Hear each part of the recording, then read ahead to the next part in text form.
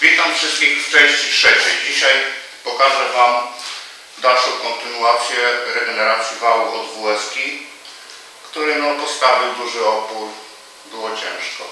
Pokażę Wam co zrobimy dalej. Tak, co będziemy robić dalej. W każdym razie, tak jak tu widzicie, rozpołowiłem wał de definitywnie. Yy, Wyjąłem również stworznia. Przyspawałem w tym celu y, kawałek śruby M16 po to, żeby odzyskać stworzeń. W części pierwszej pokazywałem troszkę inaczej, jak to robiłem, kiedy stworzeń był do wyrzucenia. Tu widać dokładnie, że faski są nieruszone. Odetnie się go, troszkę wyszlifuje płaszczyznę. Stworzeń jest uratowany. Teraz tak, jaka jest koncepcja? Koncepcja jest taka, że trzeba będzie tu naspawać, ponieważ tu były różne wymiary podłożyskami i wyszlifować na szlifierce w płach. Teraz tak, nie będziemy tego y, spawać migomatem ani elektrodą. Zrobimy to taką trochę inną metodą, tak zwaną metalizacją natryskową. W tym celu przygotowałem sobie jeszcze tutaj taką blachę. Wygląda to tak. Tu ma trzy śruby, szóstki przyspawane. Chodzi o co? Chodzi o to, że założymy sobie tą blachę tu. Tu nakrętkami sobie przykręcimy, że jak będziemy tu natryskiwać, żeby nam tutaj nie napluło. Później tu zakręcimy sobie jeszcze, tu jest kawałek takiej rurki przyspawaną nakrętka M12 razy 1,5 zakręcimy to sobie na gwint. O. I w ten sposób osłonimy tu tą część stożka i gwintu. Będzie tylko natrysk tu. Później to się wszystko zdemontuje.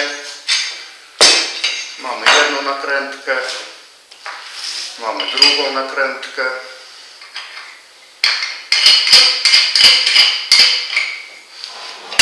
No oczywiście blachę mam jedną. Blachę się przełoży z jednej połówki na drugą. No będę chciał Wam pokazać jak robimy tą metalizację natryskową i ewentualnie może szlifowanie.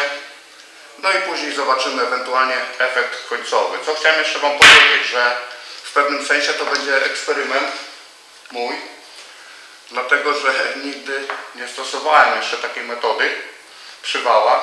Nie było jakoś potrzeby takiej. Ten, tak jak powiedziałem, trafił się, że chcę się brzydko wyrazić. No po prostu nie miałem takiego wału jeszcze. No spróbuję zrobić coś innego. Zobaczymy jakie będą efekty. Zobaczymy teraz jak będzie wyglądała metalizacja natryskowa. Tu mamy jedną połówkę wału już złapano w tokarni i będziemy patrzeć. 16,70 to ma być, Mirek? Yy, 17 podłożysko. 17 ma być? No,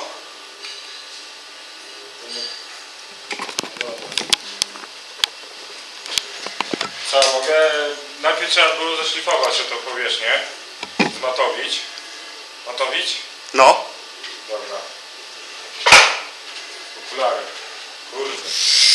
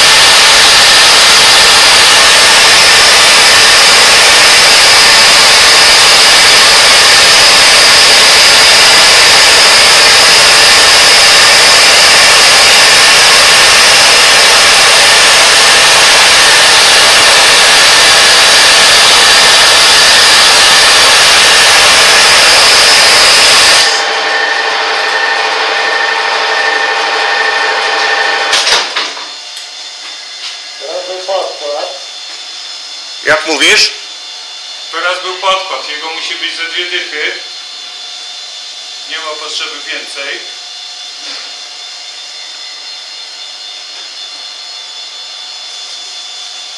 Czyli na podkład idzie inny proszek? Tak. On jest twardszy, to jest podkład jest miękki, który się tam myśli bardziej lepi do materiału, ale jest. Rozumiem.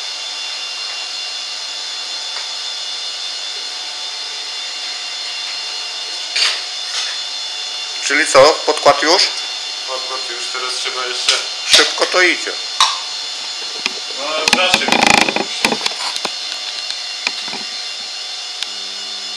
On jeszcze temperaturę złapie, to pokazuje inny wymiar, nie? Potem trzeba, trzeba do tego więcej nałożyć, bo jak to stygnie, To mniej, zmaleje. Poprawkę trzeba brać. skurczy i niejednokrotnie już było tak, że mi brakowało. Że już mierzyłem za datki 5 tych, a się okazywało, że brakuje? Dyszkę dwie. No i na ten właściwy trzeba przestawić się, dyszę. Troszkę inaczej dmucha.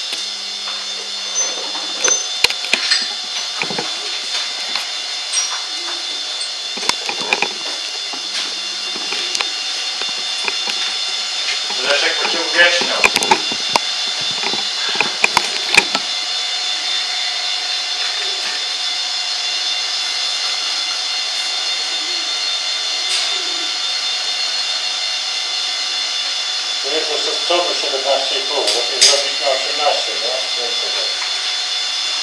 Mamy więcej.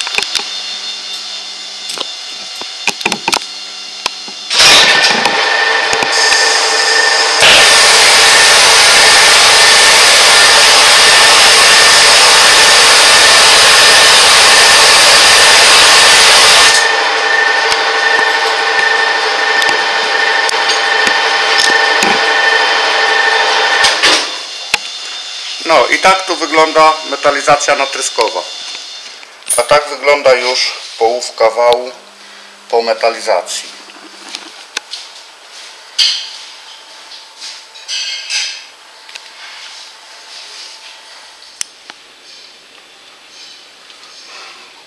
Tu jak widać mamy już obie połówki wału pięknie wyszlifowane.